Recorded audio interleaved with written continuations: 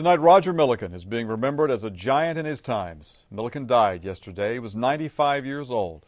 From his textile empire to his vision for GSP Airport, Roger Milliken has certainly left his mark. News 4's Nigel Robertson sat down today with one of the people in the upstate who knew him best. Those who knew Roger Milliken's situation in the last days feared that this could be the end.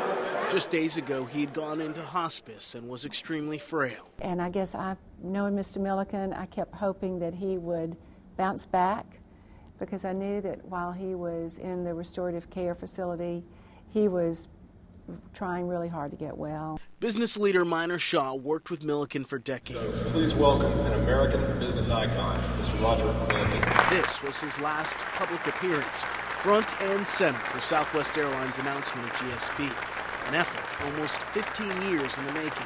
And as part of that process, we, led by Mr. Milliken, and it was really his vision, we looked at everything uh, at Greenville Spartanburg Airport to make sure we were ready. Getting the upstate ready was something that Roger Milliken excelled at.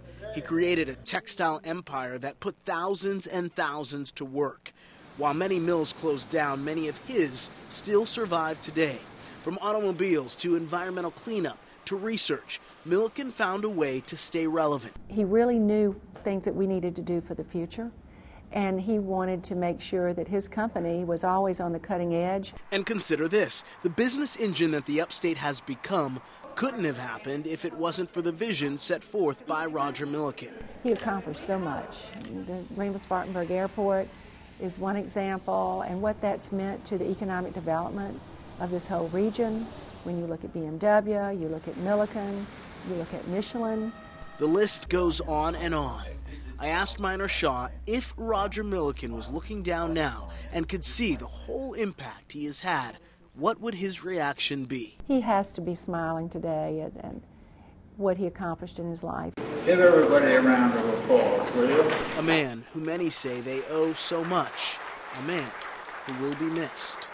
Very much. And he will never be able to be replaced. He was, he was truly a giant.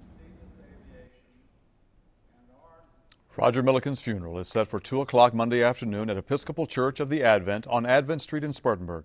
Immediately following the service, there will be a visitation with the family at the Piedmont Club. That's on East Main Street in Spartanburg. Both those are open to the public. We're told the burial will be private and that information will not be released.